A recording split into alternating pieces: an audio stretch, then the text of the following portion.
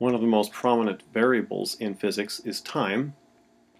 When we're talking about doing work, changing the energy of an object, it's often important to think of how quickly this is done, and our quantity for describing that is power.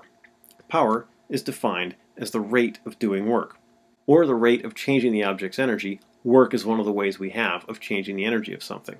So here the delta E is the change in energy, or the work done on the object and delta t is the time interval during which this happens.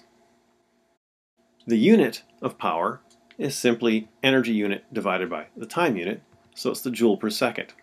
This comes up often enough in common parlance that we have named a unit for that that we use quite frequently. That's known as the watt, abbreviation capital letter W. Spell it out, it's not capitalized. If we break down the watt into its fundamental components, its energy units, the joule is the kilogram meter squared per second squared, divided by time units, so a watt is kilogram meter squared per seconds cubed.